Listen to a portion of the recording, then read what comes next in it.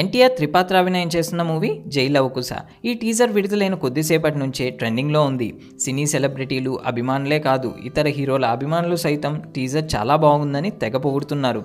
చాలామంది టీజర్ చూసి ఎన్టీఆర్ని వర్ణించి ఉంటారు కానీ ఈయన వర్ణించినట్లు ఎవరు వర్ణించి ఉండరు. మూస గొలుసులు తెంచుకున్న మాస్ పులి కళ్ళతో వేటాడుతుంది. ఈ మాటలన్నది గీతా రచయిత రామజోగయ్య శాస్త్రి.